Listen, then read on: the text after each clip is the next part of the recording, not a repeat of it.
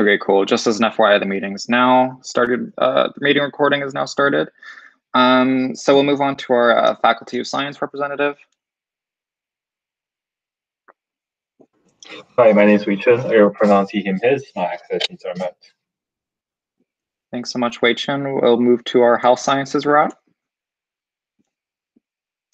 Hi everyone, I'm Nafoni. My pronouns are she, her, hers. For access needs, I may have to leave a little bit early and I'm gonna turn off my camera so I can finish eating as well. Thank you, Nafoni. Um, uh, our education representative. Hi, my name is Emily. She, her, hers, and all my access needs are met. Thanks, Emily. Um, our environment rep. Um, hi everyone, my name's Anuki. My pronouns are she, her, hers, and for access needs, I'm just going to keep my camera off because I'm also eating. sure, no worries. Um, okay, we'll go to society staff and loop around to our um, our guests. So um, we have a campaigns research and policy coordinator.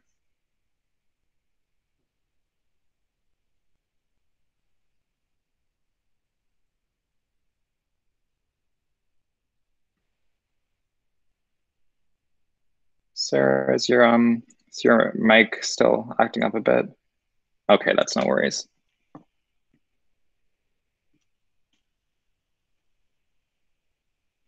All right. Um, if you could just type your um your name, pronouns, and access needs in the chat, and um, we can now continue down the list. Then, um, our executive director is not coming. Um, executive assistant. I don't see her on the call yet. So, and I didn't hear from her that she wasn't coming. So maybe she's yet to join the call. So we'll move on then. Administrative assistant. Hi everyone, I'm Christine. I'm she, her, hers, and all my access needs are met. Thanks so much, Kristen. Um, and we'll loop back to um, our guests. So we have Poom, our at-large representative, Hello, my name is Poom. I am an at-large representative. My pronouns are he, him, and his, and all my access needs are met. Thanks, Poom. And we also have Jasmine here attending the meeting as well. Hello, my name is Jasmine. Uh, pronouns are she, her, hers, and all my access needs are met. Thanks so much, Jasmine. And so I don't think I've missed anyone. Let me double check. No, all right, good. So we'll move on to item number four then, which is the adoption of the agenda. So be it resolved to adopt the agenda as presented. Is someone able to move that motion? Samad moves. Is there a seconder? Is there a seconder? Uh, I can second Anuki. Anuki seconds, thanks so much. Um, are there any amendments to the agenda that would like to be made? Uh, Nafoni? Hi, so I would like to amend the agenda to include this motion. I'll just paste it into the chat box, but it's be it resolved that the UAA committee establish a working group on anti-Black racism. Be it further resolved to appoint Jasmine Peachy as members of this working group with Nafoni Modi and Anuki Karunajeewa as working group leads. All right, thank you, Nafoni. So that will go can go under um, we can create a section, new business, right under updates, between updates and discussion items to and include that motion within that section. Um, are there any other, um, I'd actually, I'd like to add a discussion item um, that would be titled asynchronous learning. So that will be 7.3, well, I guess 8.3 at this point, but that'll be titled asynchronous learning. Um, is there any other amendments to the agenda? All right. Seeing none, um, I'll ask, does anyone want to move all those amendments? I'll move, Nafoni. Nafoni moves. All right, cool. Is there a seconder? Uh, I can second. Sama. Okay, sorry. It's okay, no worries. Samad seconds. Um, is there uh, any discussion on the amendments? If not, we'll move to a vote then. All those in favor, seeking unanimous consent. And again, if you uh, want to oppose or dissent, please just unmute your mic. And I'm seeing no opposition, so that motion will carry unanimously. So we'll move back to the main motion then. So be it resolved to adopt the agenda as amended. And if there's no other discussion on the amendment or on the on the main motion, pardon me, uh, we'll move to a vote then. So seeking unanimous consent on the motion, all those in favor? All right, so seeing no opposition, that motion will also carry unanimously. Thanks, everyone. We'll move on to matters arising from the minutes then. Uh, 5.1, be it resolved to receive and file the following meeting minutes from the UAA committee um, on June the 16th. Is there a mover for that motion? Emily moves. Emily moves. Is there a seconder? I'll second. Wait seconds. Thanks so much. Is there any discussion on the minutes? Everyone had a chance to look at them and they all look good. Okay, sounds good. Um, sorry, I'm just trying to fix something on my computer. What is happening? Okay, sorry about that. Something funky happened. Anyway, uh, so I guess I was seeking unanimous consent on the motion then. Um, seeing no more discussion, we will move to a vote. All those in favor? And I'm seeing no opposition on the motion, so that will carry unanimously as well. Amazing. So we have our some of our housekeeping items out of the way. we'll move to our updates, uh, update section. And our first one is 6.1, Joint Operations Group. So I will take this one on because Asib was unable to join the meeting today. So uh, some of the major themes that uh, occurred at the Joint Operations Group, and uh, again, just uh, to reiterate, because I think it's important to reiterate this, the Joint Operations Group is a uh, is a committee uh, composed of representatives of SS, the Graduate Student Society, and administrators of SFU. Asib and I represent the SFSS on that committee. Matt, the Director of External Relations, and um, uh, another GSS representative represent the GSS, um, and then uh, other individuals such as Jon Driver, um, Wade Parkhouse, and uh, Rummana Khan uh, represent the SFU administration. And so at, at the last meeting, we had uh, a lot of thorough discussion on many topics, the first of which was around the Student Affordability Project. And this has been a project that's been in the works for a while uh, kind of um, uh, started or was really worked on by my predecessor. And this is really to, um, it, it's a plan to work with the university to make students' lives more or university experience more affordable. And one of the ways that this is going to be kind of explored in the future is a new working group is actually being established um, within uh, the joint operations group that will uh, report to, to JOG. And uh, this uh, working group will consist of equal representation of uh, students. So I, am assuming Asib and I will both be on that committee as well, or that working group, pardon me, as well as um, uh, other representatives from the university to be to be decided shortly, I believe.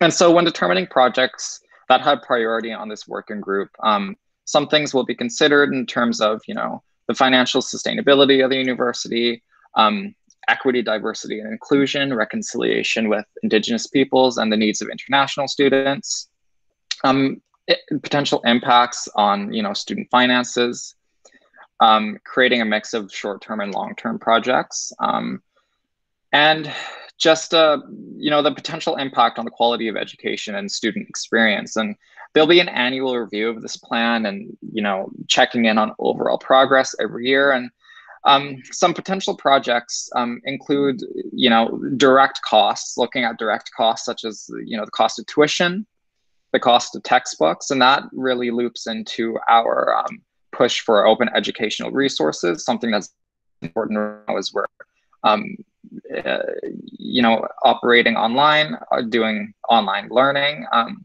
other things such as housing and food, direct costs like that, but also indirect costs such as commuting, um, uh, study space, um, inability to get into the desired or required courses that might delay graduation and have further financially burdened students, um, as well as just overall financial assistance, providing students with more financial, students in need um, with more financial assistance.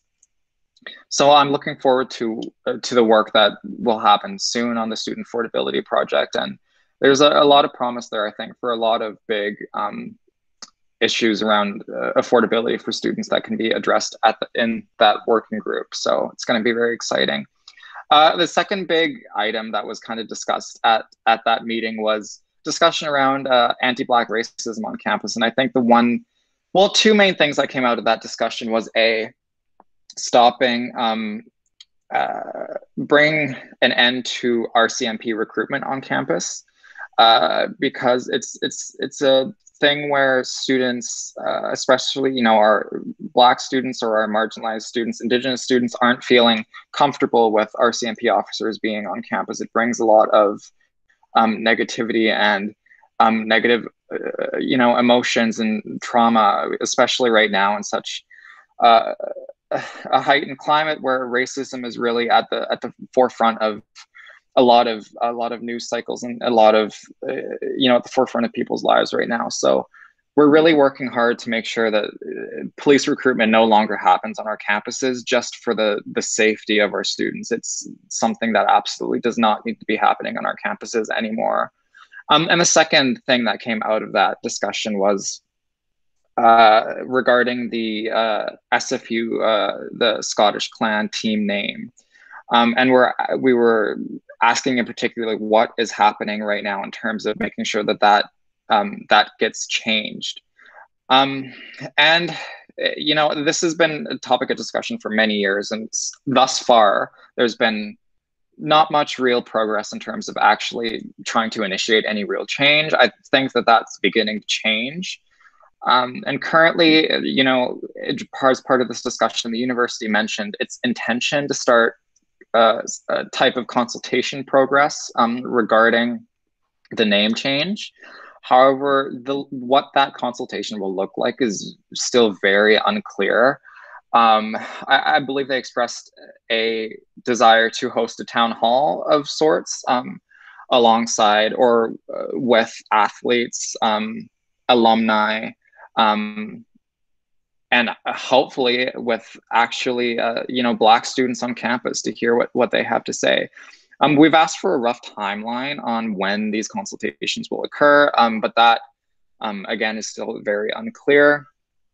Um, so to be aware that those you know those those discussions around the sfu team name are still under discussion um, and we will continue to bring these concerns to JOG and any other channel that's available to us because this is a very time sensitive and very pressing issue for a lot of our members right now. And um, we're getting a lot of, um, it, it's very, it's a very big topic. It, it was brought up at council. Um, council passed a motion that, um, you know, requested that the board um, continue working on this issue because it's something that students are really um, sorry, I'm just looking at Gabe is the working group within JOG. Yeah, Anuki, sorry. The student affordability uh, project is a working group within JOG. So it, it, yeah, it, will be passed at JOG, the establishment of that working group, and it reports to the Joint Operations Group. So yeah. Um, and I, I, the last kind of big discussion out of the JOG meeting, wait, and I'll get to you in a minute, but the last um, discussion that came out was the uh, fall enrollment numbers. And uh, the main point there, I think, is that right now it's still er, very early to project what enrollment numbers will look like for the fall semesters. And there's a lot of reasons for that. I think right now there's a lot of uncertainty as to um, the amount of international students that will be coming to SFU. Um, and that there's a lot of reasons for that in terms of um, people trying to figure out their, their study visas and other things like that, but also from domestic students as well, because, um, you know, particularly our um, incoming undergraduates because uh, I, I mean, I honestly can't imagine a lot of incoming first year students are very thrilled to be doing classes online. So I think there's a lot of hesitation around um, newly admitted undergrads as to you know are they actually going to take courses in the fall so um, that will be a continuing discussion as well and i think that um, as that information comes in um, the sfss will be made aware almost immediately because um, that's very important information for us um, so that is some of the major uh, discussion items that came out of the joint operations group meeting and I'll pass it, I'll open it up to questions if there are any and Wei Chun's on the speaking list. So I'll, I'll give Wei Chun the floor. Uh, sorry, just to clarify, the it's a consultation with the clan name, like consultation about if they should change it or consultation on like what the name should be, the new name. That's a good question. And I, um, it's not one that I'm actually very. I, I don't really know the answer to that. They have right now kind of failed to make a distinction as to which one of those types of consultations they're looking into.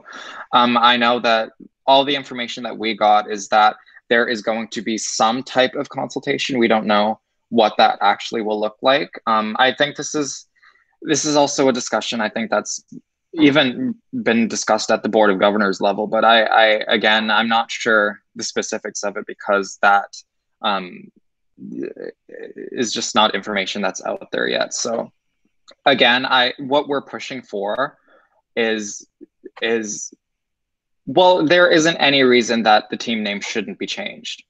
Like I think anyone at all can any student can you know can see why this name is problematic and why it's dangerous and why it's just not appropriate for a university to have this team name. And so I, I don't think that by any stretch, I, I, I would certainly hope that they're not asking, should we change it? It's why we should change it. Yeah, I, I just hope that uh, if you know this does come up again with like consultation, just make sure that we like we as a student society affirm that okay this should this name should change and there's this we there's no need to go through consultation on like whether we should change it. The consultation should be okay what should our new um, team name be? Because uh, this has been brought up since 2017 and it's been going on for too long. They had the time to do the consultation they had time to do everything um, there's even a survey that was done um, in, in the Peak article that was mentioned saying that 70, 77% of the athlete thinks that the name should be changed and I think that the impact here over matter over the intention. So whether the intention was to, to keep the Scottish heritage or SFU, that doesn't matter. Like the what matters is the impact it's having on student athletes and like how that impacts them. So just want to emphasize on that point. Yeah, absolutely. Thank you.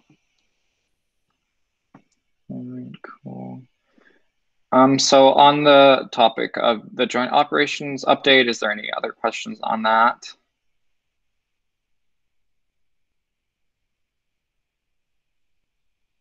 All right. oh, I see. Okay, I was very confused.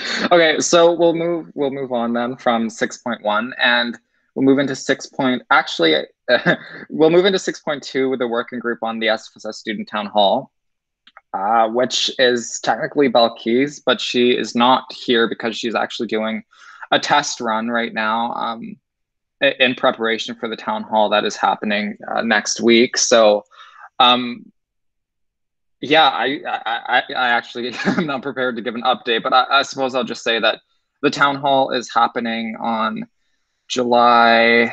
What's the date? I'm pulling up my calendar here. July the 7th from 4.30 to 6.30 and it'll be uh, via Zoom and uh, you know there'll be it, it's kind of a hybrid where students can submit questions ahead of time uh, but um, there will be an opportunity for students to ask live questions and it'll be a sort of panel type event so looking very much forward to that and um, you know i'm wishing uh, Balkis and her team right now good luck in their test run and very excited to see that um, so moving on further, we'll go to 6.3. Uh, Sama, do you have any updates on your uh, working group on emergency response and student engagement? Yes, uh, thank you, Mr. Chair. So I have few updates. Uh, now we have confirmed date for Food Hub. Uh, that is 22nd of July.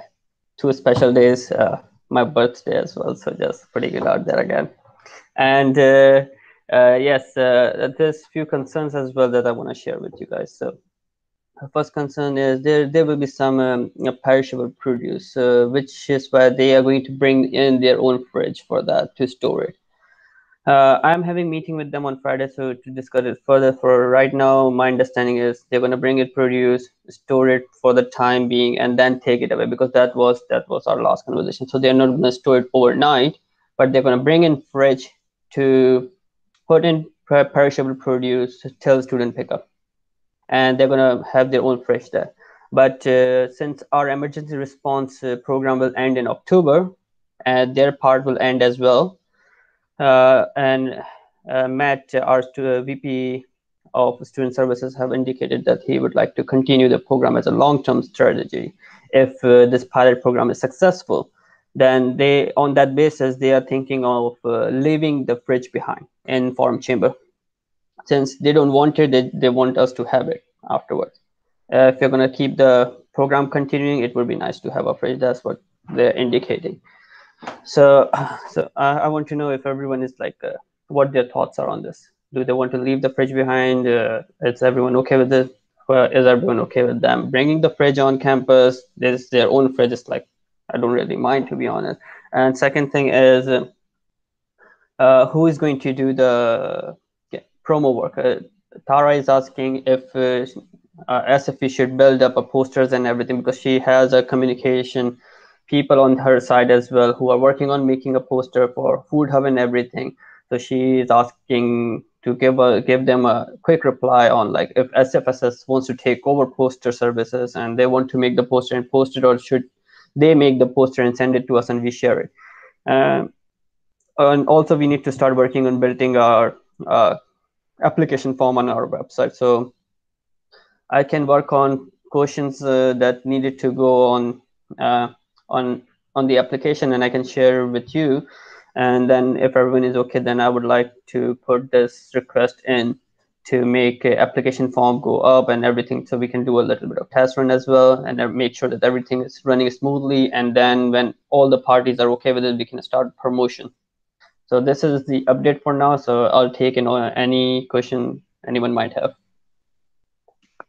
Anuki? Um, yeah, I think it would be cool if uh, they make the like Tara makes the poster and sends it into us, like the second option you said. Um, and yeah, I like I support Matt in him wanting to continue this program on. And what about the fridge, Anuki? Do you want the fridge? um, can you expand on that point? I didn't really understand that. So yeah, gonna... just Samad, I just want to ask before you go. Um, it, like personally, I I don't see a problem with having them bring in a fridge and for it staying on our premises for the duration of this program. And if it were to extend beyond the date we've currently set for the program to end. I'm I'm fine with that. I just want to know like what what measures are being put in place in terms of making sure that any perishables are are taken care of and um, you know food isn't going to waste or rotting in our spaces. so uh, that's the thing. So uh, the program is supposed to just uh, like bring in the food that is needed to dispatch. Like students are going to fill out the survey in advance, uh, put their applications down that they want this service and they're going to come and pick it up. So we're only going to prepare food for that quantity. And so to uh, so that will ensure that there will be limited waste, to be honest. And then uh, food that is all food uh, that is like leftover after like no one picked up maybe, right? And then those that leftover food will be taken by them. So that's what I talked about. Like we don't want to leave any food behind, even though if they they want to bring in the food and everything they are the one who's going to dispatch food and take care of everything there's all everything is going to be taken care of from the outside we are just going to help them set up things and like help them uh, do a little bit of volunteering work and we are providing them space where they can operate so even though they want to have fridge on our premises and store perishable food i'm hoping last time i talked uh, they're going to take it away with them afterwards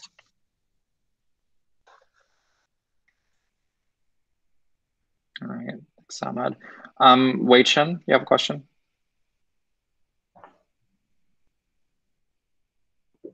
Uh, yeah, like I don't see a problem with keeping the fridge. Um, like if Matt intends to continue um, the food hub after it ends in October, like then we will probably need it would be good to have that fridge um, wherever we choose in the future to locate the food hub. It could be in our um, I think I talked to someone a little bit about this. Could be we could find a space in our new sub building to make it like a food hub um, kind of place because that is kind of uh, one of um, Matt's platform, which is like to establish a food hub for students. So yeah, I don't see any problems keeping the fridge and like continuing the, the program, like hopefully continuing the program. Anuki? Um, yeah, I think like there should be uh, a lot of like measures taken place to prevent food waste um, because that's like a big issue uh, in general. And um, so then, yeah, I would support having the fridge as well. Yeah. Um, apologies if this was already um, you already addressed this, Samad. But is there um, something in place to ensure someone has food safe? Uh,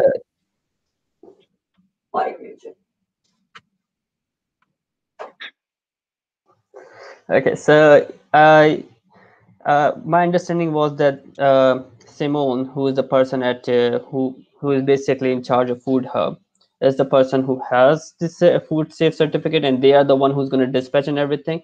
But uh, to confirm it for hundred percent sure, I'm meeting them on Friday. I can confirm it at that time as well. I can I can just make made a note right now. Would that do? Yeah, yeah. Just let us know because I think that's pretty important. Wonderful. Uh, Wei Chen? Um, uh, is there uh, who what's what ki- is what's the name of the company that's uh, working with uh, Tara for providing the food? I guess it'd be good to know. Uh, it's United Foods, I believe. It's United. Yeah, it's no, it's United. I can check the uh, proposal again. It's everything is in there. I have shared it with everybody as well, but like uh, I'll just pull it up and confirm it uh, after the meeting, I believe. Uh, if anyone else wants to know as well, I can just uh, message you privately. But like, I just don't want to say the name wrong and then you know create confusion. All right. Uh, Anuki? Um, I have a question. So, um, is it like pre-made food or is it like groceries? Um, because like I'm just thinking, are there like vegan, vegetarian, halal different options? Because if it's like pre-made, uh, you might have to consider that. But if it's like just groceries, then people can make it themselves, obviously, right? So, uh, so it's it's not going to be pre-made. They are not going to cook anything and dispatch it that way. It's mostly going to be produce itself. They're gonna like student can just pick up. It's a grocery style, as I would say. Uh, if, uh, but like uh, I can get more details on like what kind of food there will be or what kind of items there will be uh, on Friday as well. But uh, they don't know it for themselves as well because like they collect rescue foods as well and then they create packages so a student can like indicate what they're allergic with uh, if they have any kind of allergies and they want to remove some item but the package will happen like uh, they will know only one week in advance in some somewhat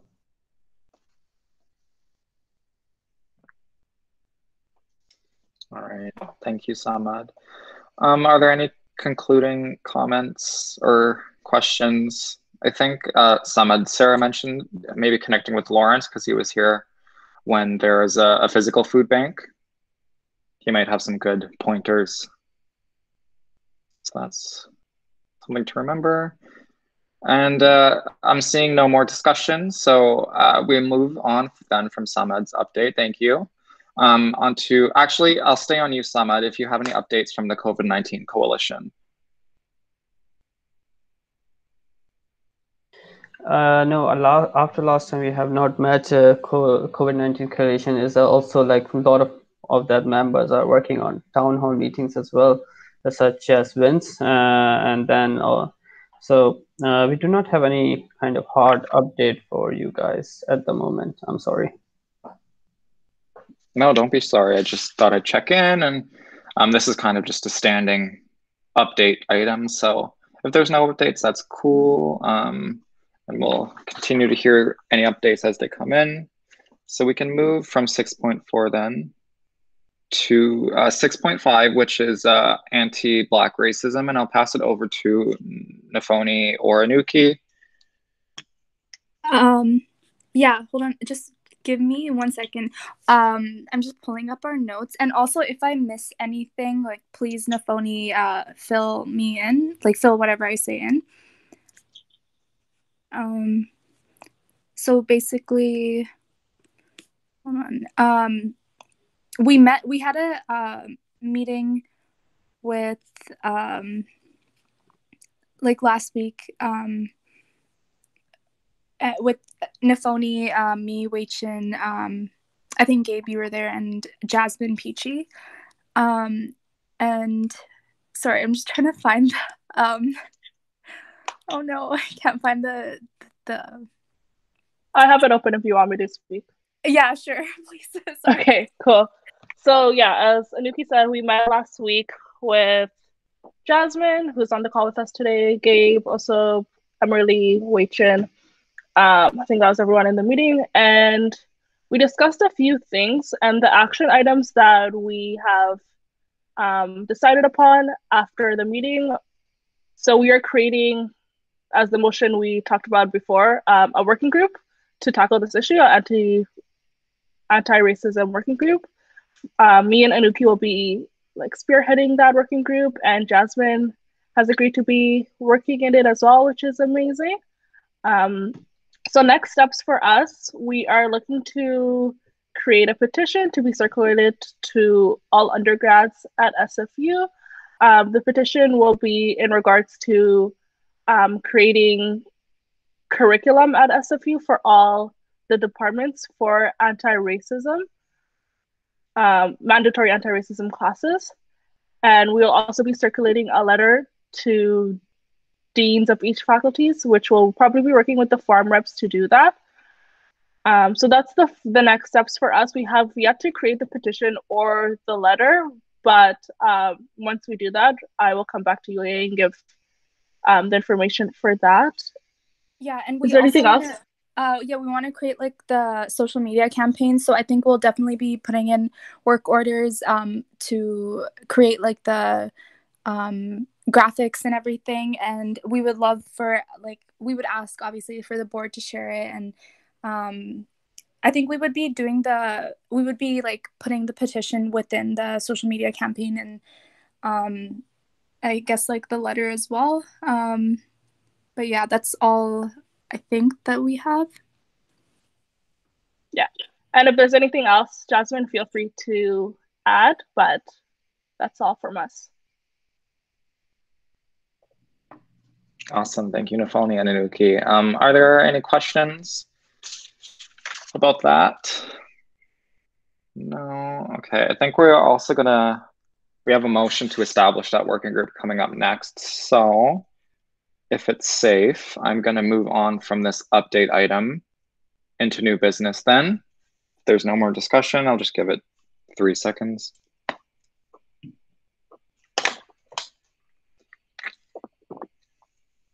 All right, cool. We'll move it to uh, new business then. Our first motion, well, our first and only motion, working group on anti-Black racism. Let me find the wording again. All right, so be it resolved that the UAA committee establish a working group on anti-Black racism. Be it further resolved to appoint Jasmine Peachy as members of this working group uh, with Nafoni and Anuki as working group leads. Um, does somebody want to move the motion? Oh, dang. Okay, Samad, does somebody want to second the motion? I'll second. Nafoni, thank you. Um, and any discussion on the motion? I think we kind of already went over it, unless you wanted to add anything else, Nafoni or Nuki. Um, yeah, so this is th- this will be like under UAA, but um, is it possible to like um, create it co- like co under uh BIPOC committee or does that make sense? Like having it under Yeah. or would we just I- have to like work with them? That's a, that's it's a good point that you bring that up because I was actually I was just about to move to amend the motion to include language around working with the BIPOC committee. So I'll actually go ahead and do that. Um, so I would like to move to amend the motion uh, to add uh, for the first line to read, uh, be it resolved that the UAA committee establish a working group on anti-Black racism to work alongside and with direction from the Black Indigenous People of Color Committee. Um, so would someone like to second that amendment? I can second it, Anuki. Okay, cool. Um, and is there any discussion on that amendment? Does it kind of solidify what you were just trying to? Yeah, yeah, exactly. That's uh, perfect. Okay, awesome. So I'm just gonna, um, I'll type that out.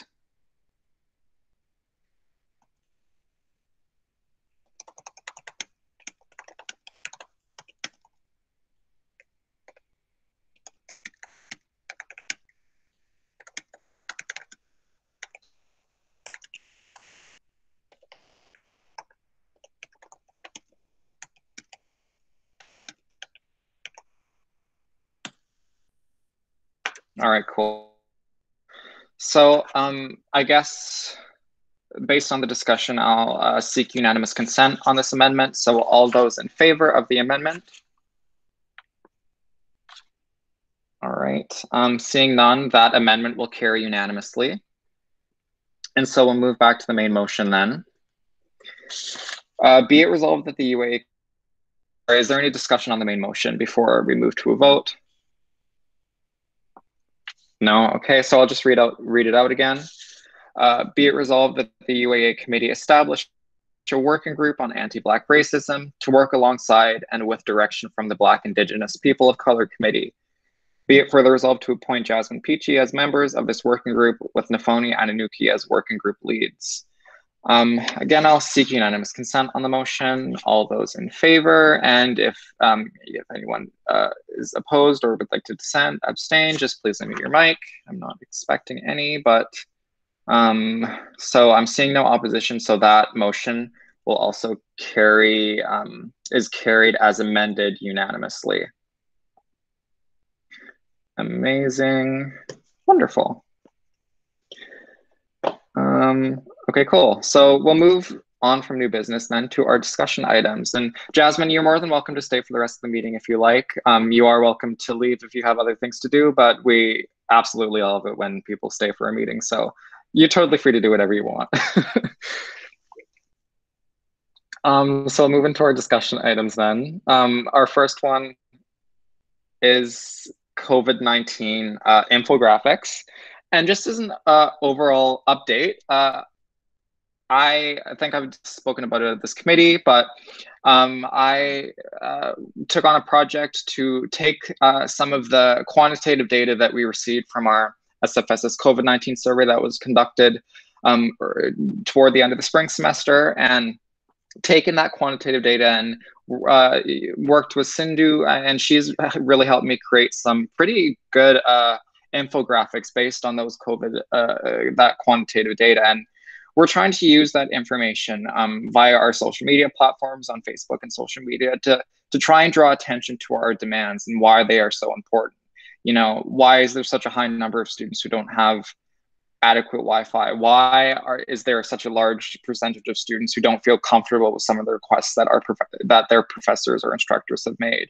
We're going to continue to use this information online to emphasize why it's important to do things such as implement asynchronous learning, why we need uh, further uh, uh, emergency funding for students in need, why um, you know we need uh, I don't know, I'm blanking out, but but why we need all those things that that we're um, that we're requesting at the university. And so I'll just ask if there's um I'll make sure to email all of those to all the infographics to you, but they're slowly going to come out on social media, um, on our social media pages. So um, if there's any questions regarding that, um, I, I'm not expecting much, but it's just kind of an update for me. If not, we'll move on then um, to our next discussion item, which is 7.2 or 8.2 at this point. Um, more problems with exam invigilation. Um, so we have some more issues regarding exam invigilation. Now, I, I think um, most of us know that um, at the beginning of the semester, it was kind of made pretty clear that if professors and instructors were planning on using exam invigilating software, any third party software, or anything at all that required students to be uh, recorded or using live, um, you know, you had to be on on this program at the specific time for your exam, and you will be watched by your professor or TA or somebody. That that needed to be made very apparent to students um, before the withdrawal deadline. So students had an opportunity to actually withdraw from that course if they didn't feel comfortable with what the professor was asking them. Um, and for the most part, that was done. Um, some there were, were some instances where professors weren't actually abiding by that, and luckily those were caught. They were either brought to us or the ombudsperson, and in those cases, the professor was able to reverse that decision.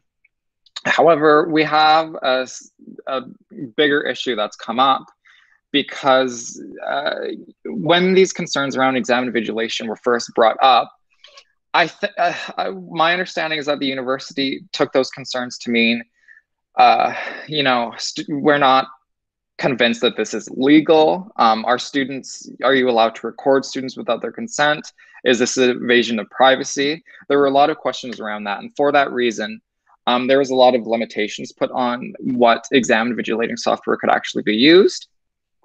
Um, however, uh, some recent uh, decision made by, I, I, believe it was the SFU privacy officer. I'm not actually um, 100% sure of the, of the title of the of the role, but um, has basically uh, concluded that professors are allowed to use uh, certain programs um, to invigilate exams as long as students are not being recorded.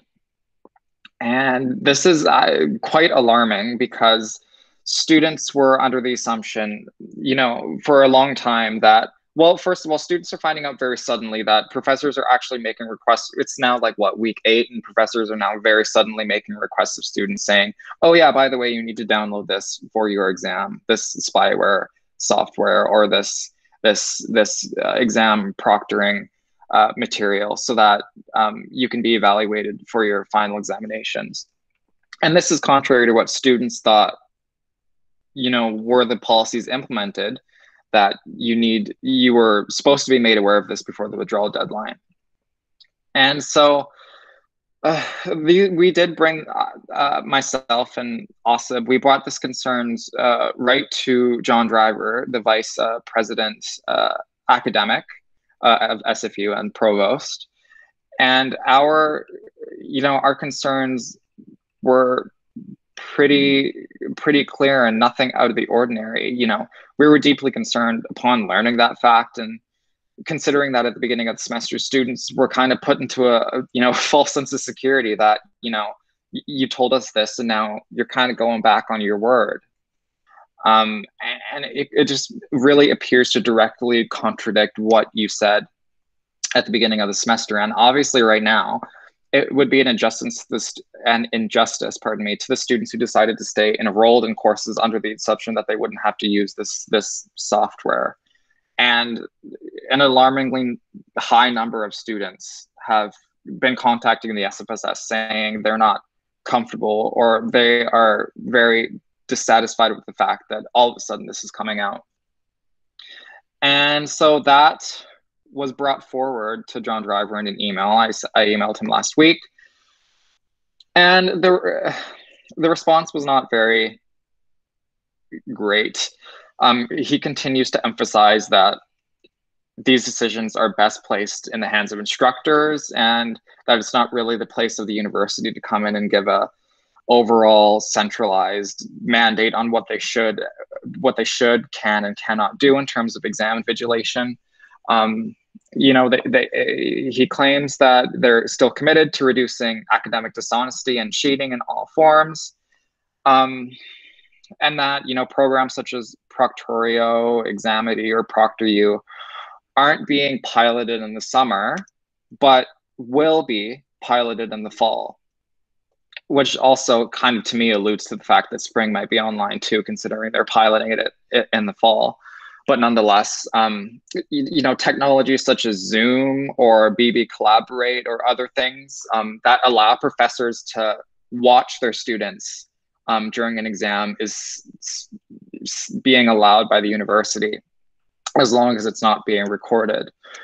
And uh, the the argument still stands for them that how is this any different from watching, you know, if you're sitting in a lecture hall in person, how is it any different than your TA or professor or someone walking around a lecture hall and watching you? Well, there's actually many uh, arguments against that. First of all, it's a huge invasion of privacy students don't often actually have a space like myself where I can close the door and be alone. Some professors ask that, you know, their family not use the Wi-Fi while they're doing an exam, which is absolutely like everyone else is working from home too. It's not just students, so that's not a viable request. And many other issues that students are facing right now in terms of trying to do exams um, using the software. And of course, the very alarming response that I got from him toward the end of the email is, and, and I'm quoting this now, he says, I note that the SFSS has been contacting instructors about their use of Zoom. Instructors are not obliged to respond to generalized concerns expressed by the SFSS. Um, so basically, he's telling me that if a student comes to you with a concern and you go and contact the professor, they actually have no obligation to respond to you, which I, I really take is is dumb because our, our job here as the student society is to make sure that students students needs are being students concerns and needs are being brought to the university and if you know he's undermining that that is very deeply concerning but um, i will continue to bring our concerns forward. And I'm yet to respond to that email, but I'm about to I'm about to do that this evening, hopefully. Um, and I, I, will continue uh, myself. I want to work with senators, and myself, I'm a senator. So I, I'm going to continue to bring questions about exam invigilation to the Senate because I think that there are still many questions to be answered and many demands that need to be addressed. Um, and so with that, I just want to open up the floor to discussion on anything that I just mentioned or thoughts on exam invigilation. I- have seen a lot of stuff happening in the chat. I'm not sure if anyone listed. Yeah, I did yeah. list before that. Oh, wait, sure. Wei Chen and then Ruki. Um, yeah, like this is just, I, I don't know, it was really disappointing. Like, not disappointing that I expected this. It's just really crazy that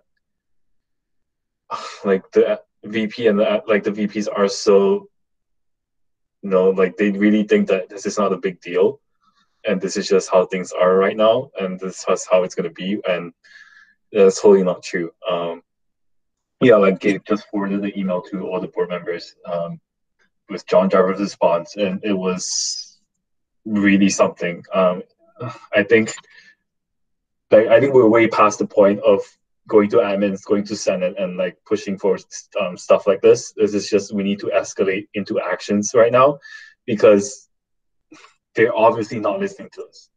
Um, you know, um, they're saying that they're suspending like pilot on projects, not pilot projects, but like pilot proctoring software on on for summer, but it might go into the fall. So like they did get some examples. Um, I heard heard of some of this before.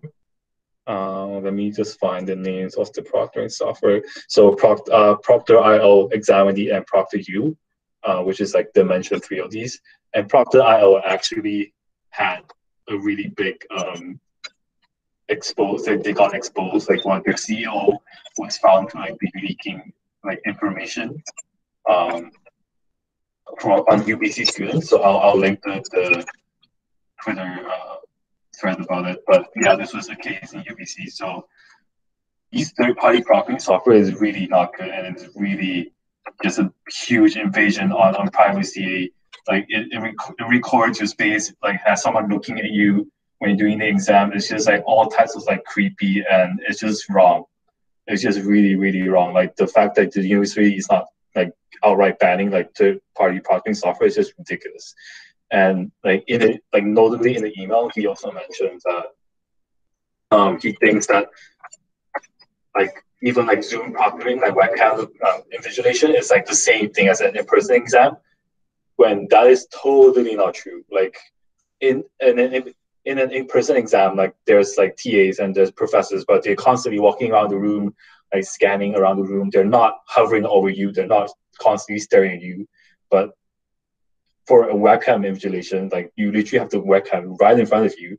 They're constantly looking at your keyboard what you're typing, where you where you're looking, if you have any like suspicious movement or whatever. Like it's just not the same. And like I don't understand why like Jon Driver doesn't see it's not the same. And we really need to hit like, you know, just say that this is really putting a lot of unnecessary stress on students. And you're you're like you're not creating a good uh, learning environment for students. Um, you're ruining like the relationship between profs, professors and students and putting a responsibility on students to be the one like emailing prof and emailing chairs and ombudsperson and going through all this process that's so stressful when you can just you know make a mandate and like set some guidelines on this kind of stuff. So uh, i just think we're way past like talking to them. That's just what i'm saying. Thank you for your thoughts wei chen. Anuki? Yeah um i think it's like incredibly inappropriate and unreasonable for profs to be asking these things of students, especially like when you said they're asking the family to stop using the Wi-Fi. Like other people have jobs and things to do too. Like how can how can you ask that of like family members? And do that? And also, um, yeah, like that. It's it's just like kind of scary to me that it just feels like we're living in a surveillance state or something when they're putting they're making students download this spyware and um yeah and then there's even like issues with zoom too like how it's not encrypted and everything but that's like another thing yeah i don't understand how it's not like already illegal um and i know like UBC, my friends from ubc they've had to download this stuff too and it's just so creepy. Yeah i don't understand how it's not illegal and like how have like like have they even been, like have people considered even suing? Like i don't even know like what why this is even a thing. Yeah. Mm-hmm. thank you anuki. Um samad is next on the list yeah so i know like everybody is so concerned about this and this is kind of horrifying to know that they want to run a pilot program in fall like uh, having conversation with Jon Driver again and again about this proctoring software, about uh, uh, like education quality going down because it has moved online, and all the argument he gives out is like it's same, it's just moved online, it's same, it's just moved online. Uh, this is putting too much stress on students. It's like at the end, it just feels like oh, whole pandemic is a student's fault. Like lost their jobs and now they have to pay like heavy tuition fees go through the proctoring, have online. Like, come on, does he even know that not everybody has good Wi-Fi? Does he even know that like people have trouble? Like, if someone is in some other country and they have they don't have sufficient Wi-Fi or good internet service, like what they're gonna do with it? Like, if their Wi-Fi stops working in the middle, are they gonna charge get charged with cheating because like oh they went off camera? Like they have to consider so many things. This is like putting too much stress. Like right now, I'm just thinking, oh, in fall semester, that's gonna be my last semester, hopefully, and I'm gonna be downloading some proctoring software. I don't even download like a usual thing like stupid games from internet because I'm too afraid that that might hack my computer. Like literally, and every week I run like a spyware software on my computer just to see if there is some kind of malware. Like I'm that kind of person. Like what's going to happen with me if I start downloading a proctoring software and that has control over my computer? Just thinking about me gives me stress. Like this is ridiculous, and I think like in the Senate we have to just push for it. Now this is this is I I think it's just too much. It's, we have to stop talking to Jon Driver about like okay yeah giving explanation because all the argument he gives out is like it's same. It's just moved online. It's same. It's just moved online. Like I don't even know if he knows what online means. Thank you, Samad. Um, Emily? Yeah, I was gonna agree that the software creates um, added stress on top of the exam already, and profs should be aware of the students' well-being. And I know a lot of faculties preach like student support and all that, so it's kind of unfair to say that the SFSS can't advocate on behalf of the students. And I think I don't know, like within our own faculties, I'm sure the farm reps could speak to our deans about it um, to get to the bottom of it. I know that within the Faculty of Education, I'm not sure if the structure is the same for all faculties, but there's an undergraduate programs committee where students can bring forward any recommendations or issues on behalf of students. So I think that's like one avenue other than um, Senate that we can pursue as well. Yeah, that's a very good idea. I think we should look into it. I think education might be a bit unique in terms of um, those kind of channels and structures, but I'd love to see if there's something similar in other faculties.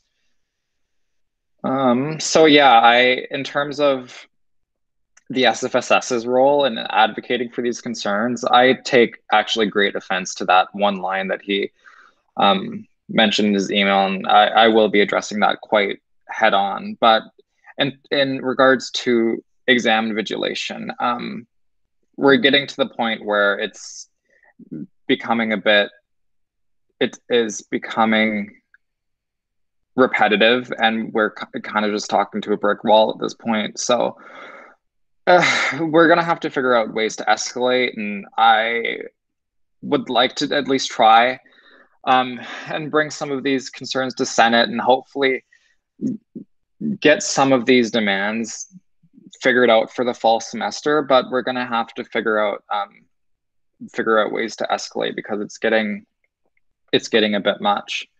And so, yeah, is there um, any other comments on the topic of exam invigilation? Yeah, Wei Chen? Yeah, like I, think we need to um, kind of brainstorm on like how to escalate this. Um, like yeah, like do still go to Senate and still do like do still bring this up, but like, from the SFSS side, like how what can we do? Like how can we tell um our students that we've done all we can um in terms of like you know talking to Jon Driver in terms of um bringing to Senate. This is not new to the Senate as well. Like what can like we need to let students know that and we need to know that okay we need to step up our actions. We need to um you know either you know a petition or uh, just like, you know just some sort of action to escalate because emailing and all that is just not there's no point like you said we're like at this point talking to a brick wall. So this something has to be done before the fall semester starts to set the tone. Um, otherwise it's just going to go into the fall and this just to keep happening and happening. Uh, so i would like to hear if anyone has any ideas on that. Um, uh, Anuki, you're next on the list. Yeah, um, I was just wondering, are there any like petition petitions or like social media campaigns going around about this? And maybe, oh, I see Rachin shaking his head. Um, if like since there isn't, maybe we can create that and maybe like um have like something stronger through that. Yeah, I think that's definitely an avenue we can go down.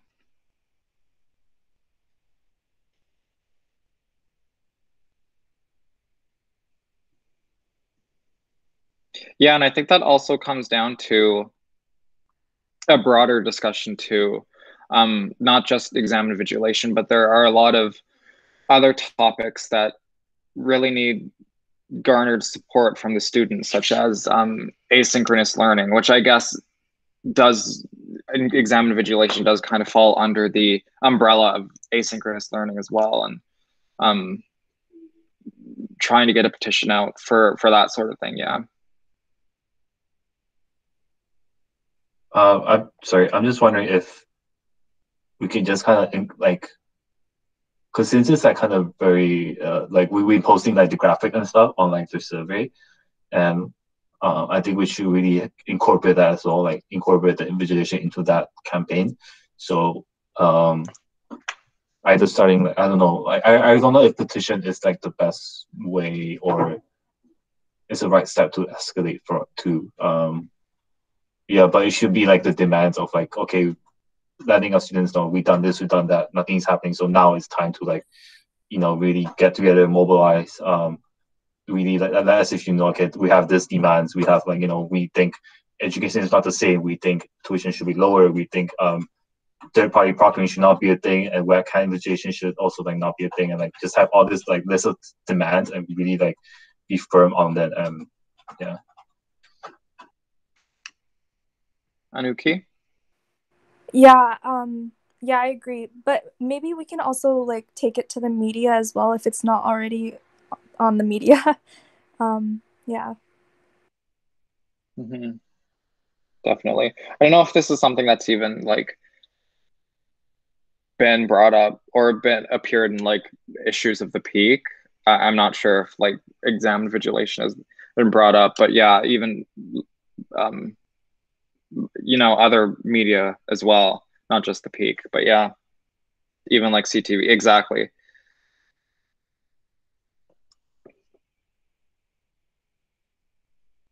Yeah, so we can continue to um, I think have those brainstorming discussions around how we can escalate this and maybe we can even bring this to uh, a future meeting because I think this is a something we really need to discuss. And Poom can go. You can go ahead.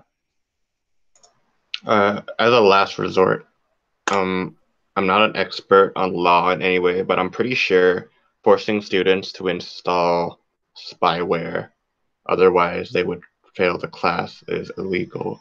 So like actually threatening them. Last resort. yeah, well, I'm not entirely sure because they're. Uh, I, I'm fairly certain the university wouldn't do anything that's illegal, and they probably know what they're doing within the bounds of the law. So um, we'd have to we'd have to check check on that because it, it does again come down to I, I think when it is verging on the line of breaking the law is when you start recording students. Um, but you know, when it comes to using certain software like Zoom or other typical video conferencing software, that technically is not illegal, no matter how uncomfortable you're making students by asking them to use that software. Unfortunately, but um, yeah, it's, it's definitely something to to think about. And um, Proctorio, um, well, uh, yeah. I, I, when it comes to things like Proctorio, again, I think it just comes down to, and I'm not, I've never actually encountered, had to use that program myself. I don't know if that involves recording students in any way, um, but definitely using third-party applications. Again, just comes down to that. Really makes students uncomfortable, makes students feel unsafe. Um, their data and their you know the personal information on their computer you know it, and situations like the ones that Wei Chen just shared the, the twitter links it's very blatantly clear that these are not secure and not the best programs to be using um, for exams. So continuing to uh, you know ad- address those concerns as well. Um, i Wei Chen, are you on the list? Sorry I, there, it's a bit of a mess in the chat So yeah, I'm on the list. I'm just saying like we should like in terms of action, we should continue this discussion on Discord. But yeah, just to like um I guess direct response to what Poom said. Yeah, I think I don't know if there's anything illegal with like Zoom um, proctoring. Um, might have to look look into that, but I don't think there's anything illegal with it. But um, yeah, even like if it's not illegal, it's just the point of like adding stress on students and like why it's bad. Uh, I think Corbett showed me a, a, article. I haven't read it yet, but I think he said there's some good information on it on like why online proctoring like that is like not good just for like mental health and everything like that. So we need to like really counter the point of like um, all their all their um, reason of like oh it's the same thing as in person. When you get counter that it's not, and like add on to like okay this add on stress, the mental health of students, and all this, um, just countering that and like our potential like our petition whatever. Um, and like we with Proctor, what happened with UBC was like apparently the uh, like a student had a problem with or something with the proctoring um, when doing the exam, uh, and then disconnected or whatever, and then they're getting like a help, uh, like their their um help, uh, what do you call it, live chat like help um support, but it wasn't working or whatever, or the person was not responding um on the proctor uh, tutorial side, and then like the student is posted on social media um uh, I'll post the like a screenshot of like the the chat on like social media saying, oh like uh, my Proctorio stopped working. I seeked help from their chat, but it's like they didn't respond or whatever.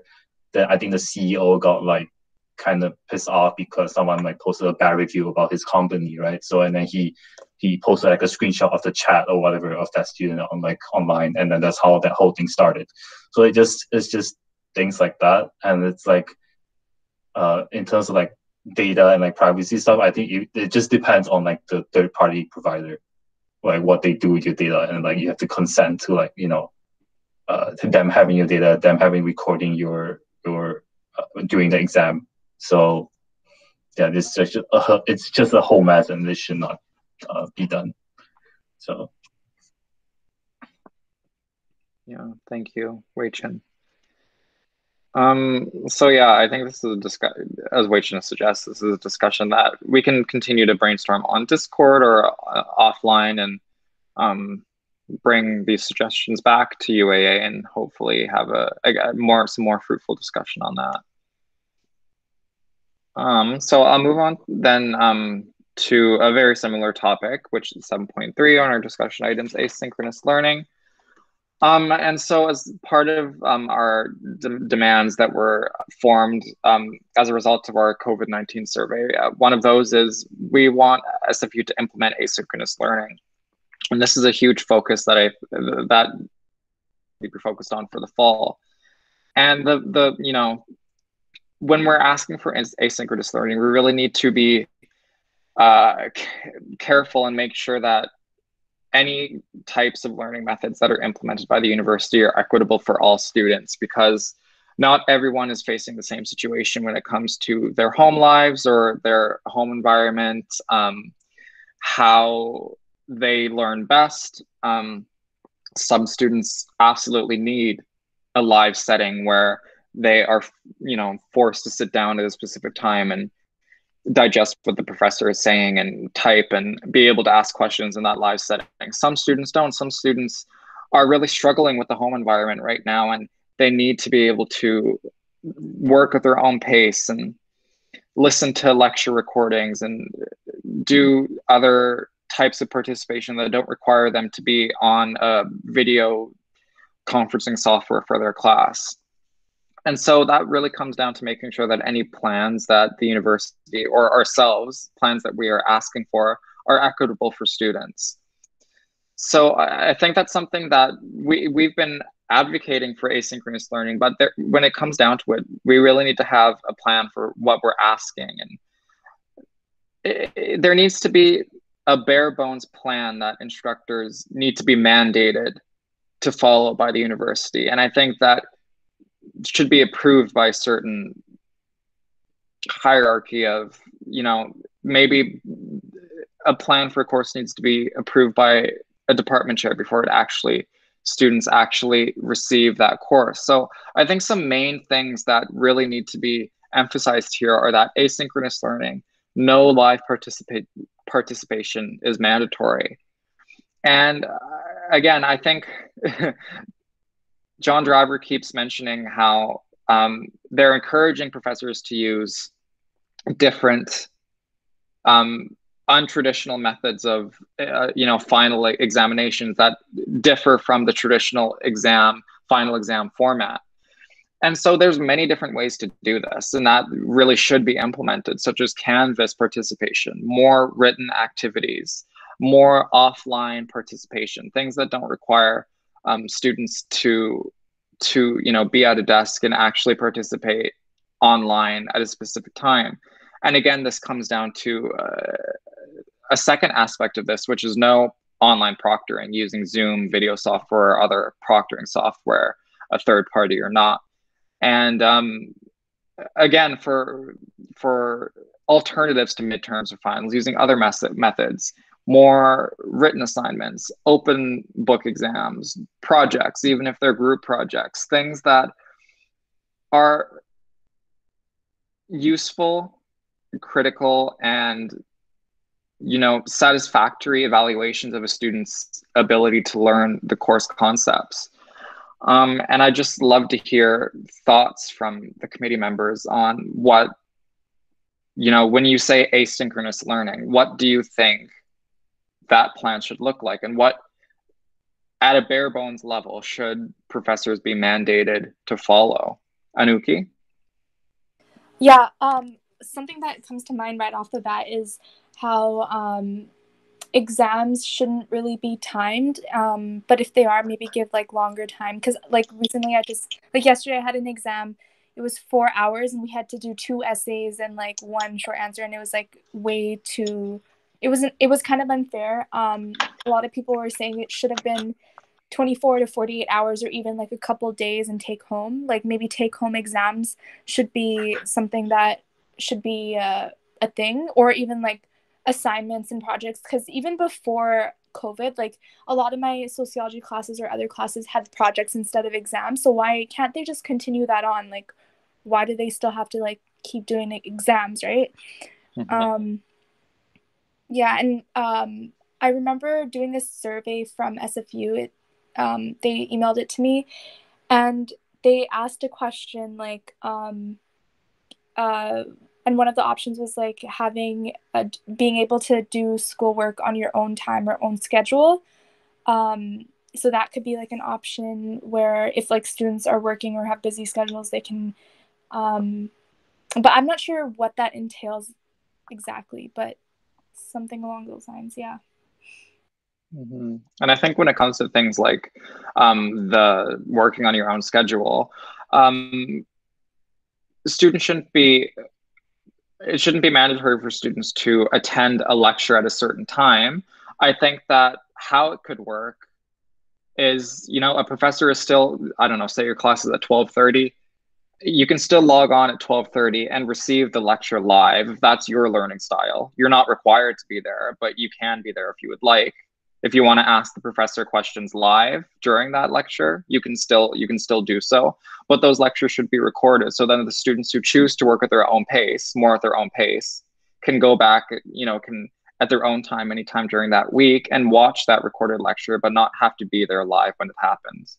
Um, that was an idea of, of mine. Um, yeah uh, someone else was on the list Emily, you can go ahead yeah the only thing that makes that difficult is that a lot of instructors are looking to build community online. So, synchronous lectures where students engage in discussions with the prof is like something that they want to do. And I know it's difficult for those who need asynchronous learning. And I know a lot of education courses in particular, they're like four hour blocks. So the profs normally don't talk for that long.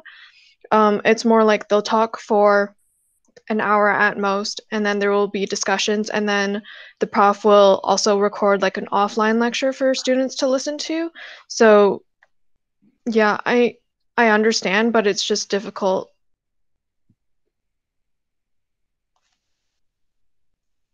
Thank you, Emily. Um, I'll respond to them in a minute, but Anuki was on the list before me, so you can go ahead.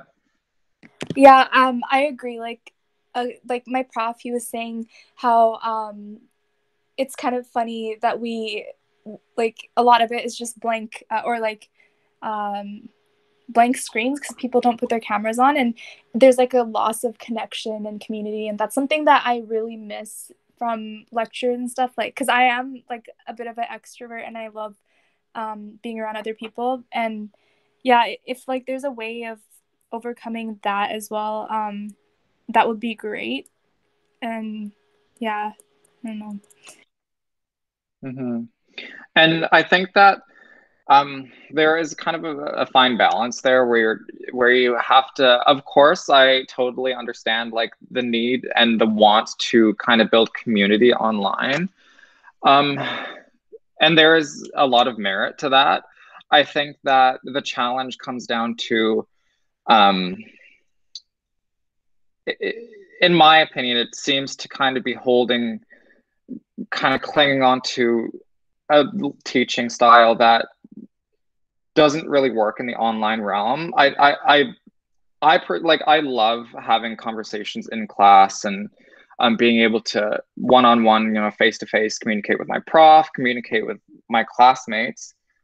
But I think we've all experienced, um, you know, classes where you see blank screens and muted microphones and breakout rooms where no one wants to say anything. I think we've all experienced that. It's a bit too too real for us right now so when it comes down to trying to build community online, there are a lot of attempts right now to make that online learning style work.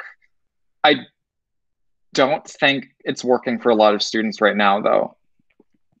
When it comes to specific classes, like um, Emily, a lot of education classes are seminar based, and many other courses within the university are seminar based. I think there are certain courses that absolutely could not run asynchronously. Like there, it's just like some question, some courses are like period, no, absolutely not.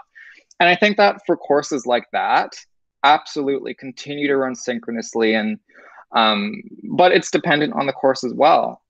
I think maybe what needs to happen is um, is that there needs to be uh, like when I talk about bare bone requirements, there needs to be certain uh, mandates given to professors, such as no live participation, no live lectures, recorded lectures, different forms of participation, um, no proctoring. But that plan should be approved by a designated person, maybe a department chair, maybe a dean. I'm not quite sure what that would look like. But for courses that require something else, that absolutely cannot run asynchronously, or maybe even courses that need to run in person in the fall, because I know some labs and research intensive courses are still running in person. Those courses probably would have an exemption from that bare bones plan, but still need to be approved by a certain person to make sure that they're not straying too far away from what's, you know, making sure that those plans aren't causing stress or burdening student burdening students to you know a great extent. Um, um, who was on the list first, Wei or Anuki? Oh, Wei Chen was. I mean, sure, you can go ahead. Um, yeah, like I think the the whole thing with asynchronous teaching is not say that everything should be asynchronous. I think it's like just putting it so that it's not mandatory for for um, sy- uh, synchronous. If courses um, that are needed to be synchronous, like um, some of the education courses, um, like Emily said, then sure, like by all means, like you know that should be you know allowed, and students should know that. Um, but just I think on the point of asynchronous, just like a lot of courses really don't need to be, but professors are making it so. Um, yeah, understand that you know professors want to build that relationship and all that with the students. It is like kind of disengaging to have like cameras off and like professors talking to like a blank and like black screen. So it was understandable, but um, you know everyone's having difficulty with this transition. Everyone's still adapting and still learning, um, and some people might not be comfortable with being on camera and all this. Um, and we need to um, just really focus on being inclusive and being more accessible, making classes more accessible to students, not putting stress on students. Um, just thinking, really thinking about the mental health of students and just giving the options out there that if you can like if, if courses doesn't need to be async like doesn't need to be synchronous teaching, then students shouldn't be forced to that. Shouldn't students shouldn't be losing um, their uh, marks in class over that. So that, that that's just my thoughts on it. Mm-hmm. Yeah, I think it comes down to when I think of asynchronous learning, I think of three very basic ideas inclusion, equity, and accessibility. And I think when it comes to inclusion, we need to make sure that students are feeling included, they are feeling a part of something, but not feeling stressed by that. When it comes to equitability or equity, making sure that all learning abilities are respected and that each individual course, whether it's seminar based or something that requires more hands on, or I guess, what would you call it virtually? But um, I don't know what I'm trying to say, video conference based, um, that those specific courses each receive the layout that they deserve. And in terms of accessibility, just making sure education is still accessible to all of our students, including those who don't necessarily have the proper technology to participate in online classes. Um, our international students who are having to wake up at 2 a.m. to attend their live lectures. Um, yeah, so uh, I'll pass it off to Emily. Emily, she's on the list. I thought Anuki was before me. Oh, was she? Yeah. oh, okay. I'm sorry.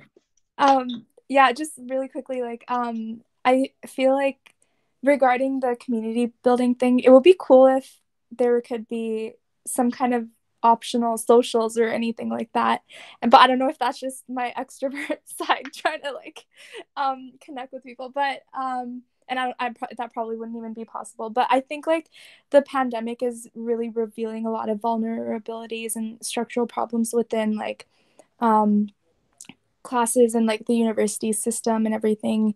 Um like th- something that came to my mind is like during our accessibility sdi workshop um um, the the speaker told us about how pe- sometimes people with disabilities they, they, i mean like there are people with disabilities that um, aren't able to like show up on time to lectures and stuff um, just because of like the whatever they have right? Um, i'm not like quite educated on that but there's like so many um, things that need to be taken into account um, and maybe like this will be like a new age of like rebuilding all of these or restructuring all of these things in general and um yeah like um i hope yeah uh, i lost my train of thought. Um but if it comes back to me i'll i'll let you know.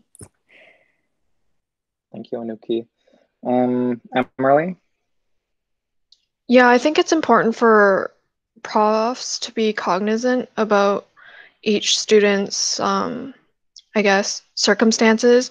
And some of them might not be immediately like what is that word immediately like oh my god i'm totally blanking i have no idea what the word is um, but um, just to be cognizant of like students international students who are back at home or like students with disabilities that can't attend lecture at that time or have like um, circumstances throughout the day and stuff like that.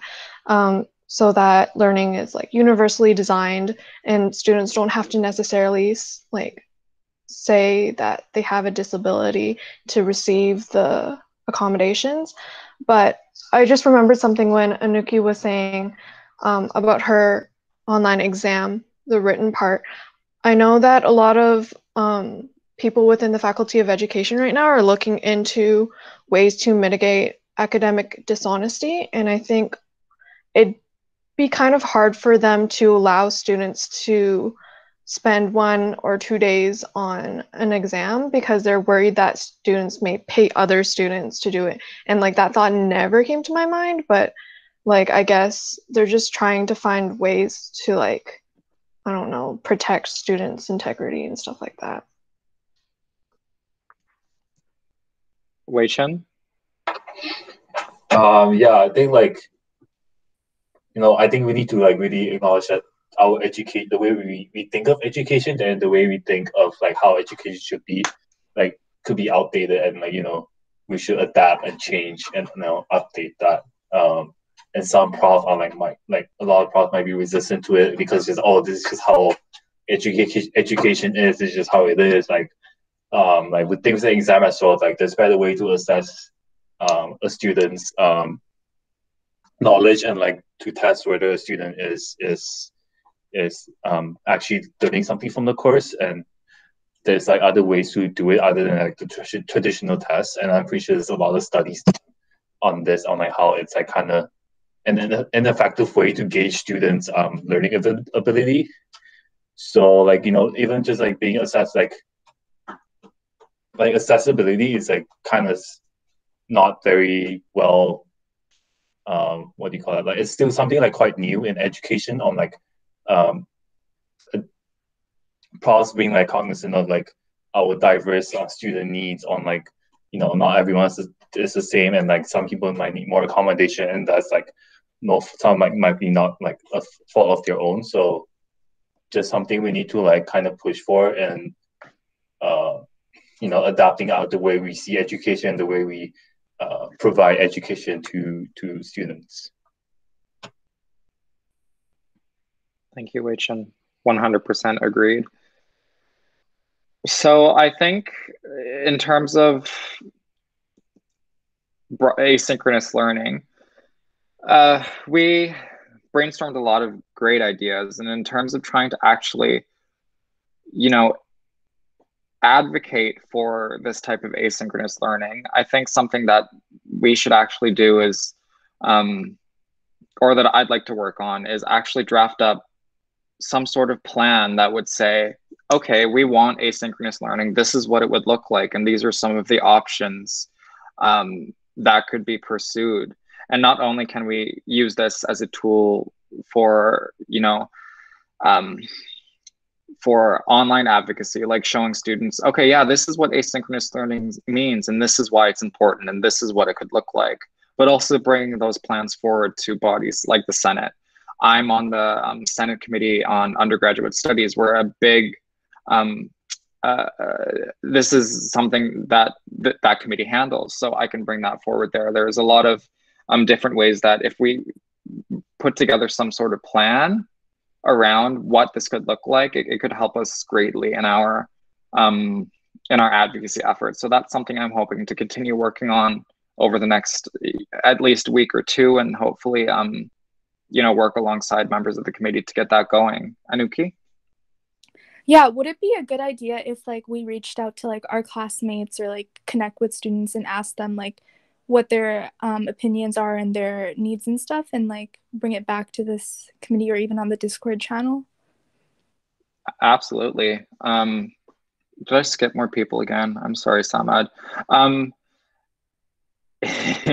in terms of uh, it's never a bad idea to to go up there and get student feedback. Always, always, always. When in doubt, ask for opinions, ask for suggestions, ask for feedback. Um, so yeah, and apologies, uh, Mr. Raza. I'll I'll give you the floor. Mr. Chair, you forgot about me. Oh my God, it hurts.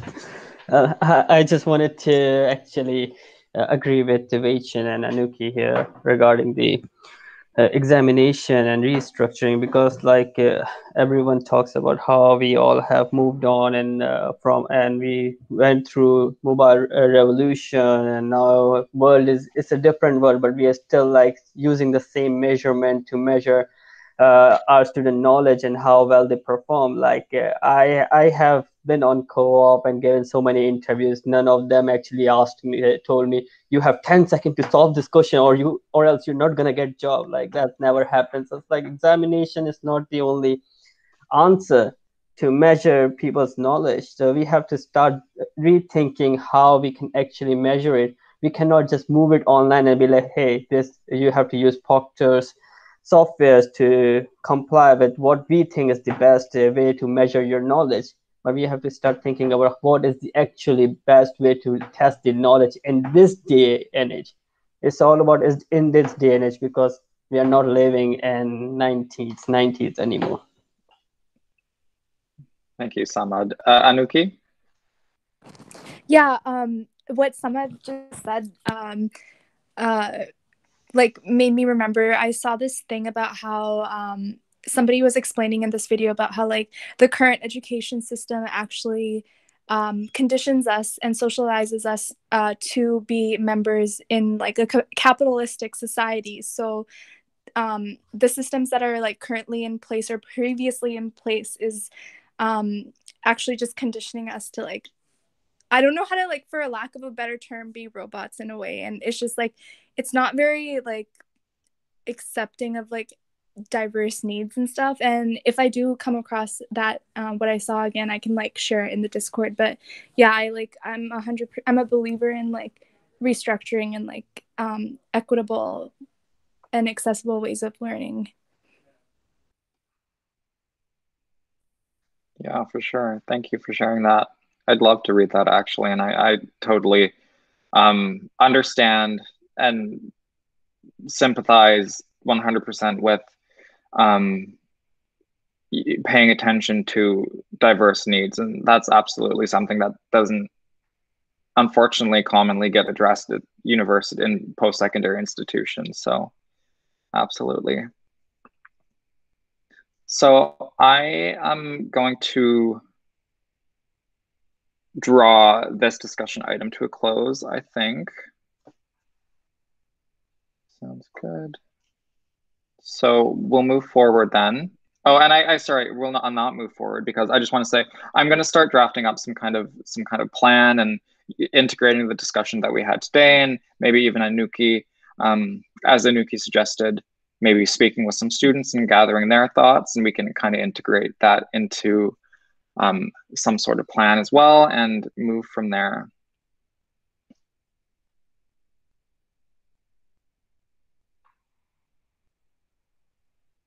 Yeah. Um, I'd love to talk about this once the meeting's adjourned because I have so many thoughts on the education system. But we'll move on though. Anyway, um, so announcements. Um, the next UAA meeting is on Tuesday, July 14th um, from 3 p.m. to 5 p.m., same time as usual, two weeks today.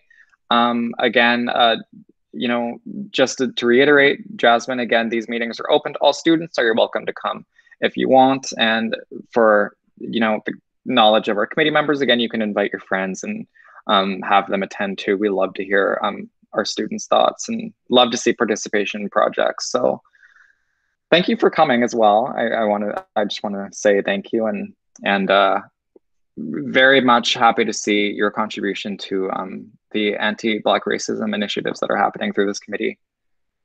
Yeah. So we'll move on to adjournment then. So be it resolved to adjourn uh, this meeting at four, what time is it? 4.36 p.m. Is someone able to move that motion?